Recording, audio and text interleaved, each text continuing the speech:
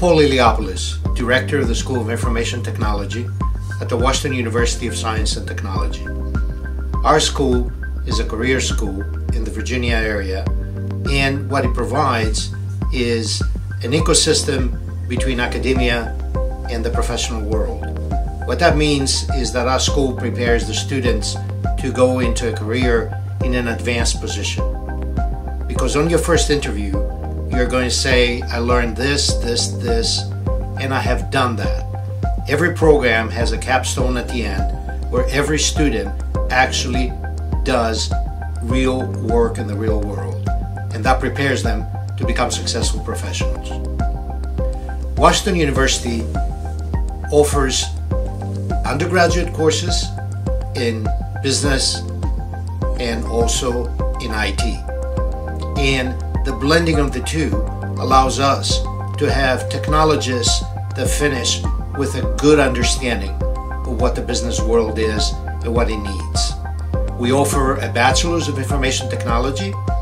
We offer graduate programs, a Master's in Information Technology, and a Master's in Cybersecurity. Also, we prepare people for certifications as CompTIA, Network, and Security. Our students are not simply graduating from the university. They're graduating with a team of consultants that will find them a job and it will place them in a good job.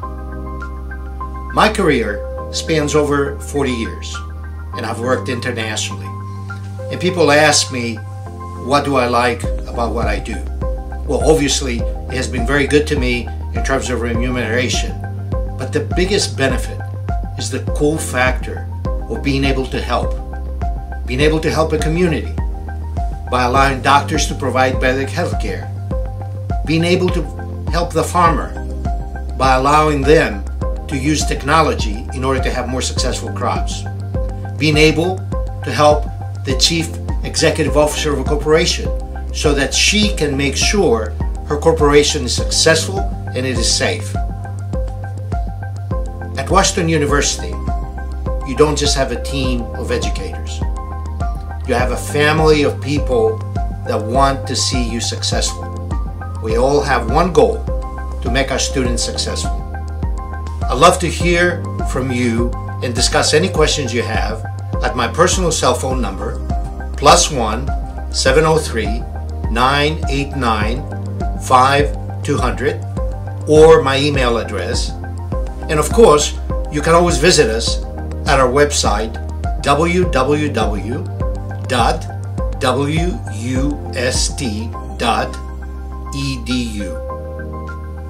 I look forward to seeing you.